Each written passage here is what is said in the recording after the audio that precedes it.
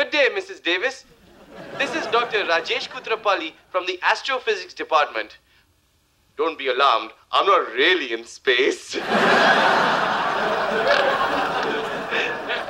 Anywho, I'd like to take this opportunity to tell you about myself. So sit back, relax, and enjoy the following 90 minute video. Oh, come on.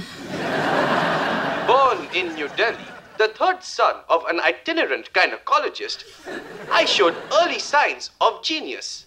At the age of five, I discovered a celestial object which later turned out to be the moon.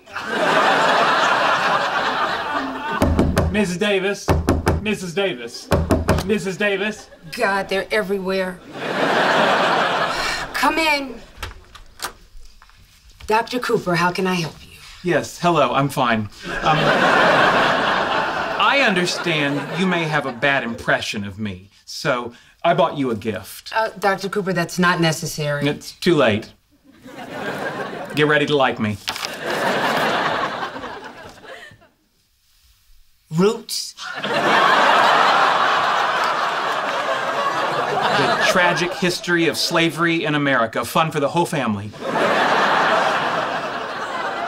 Why would you think this is an appropriate gift? Um, well, you are black, right? This meeting has come to an end. Because you want to start watching it right now. Copy that. See. Up next on the tenure committee is Professor Wu.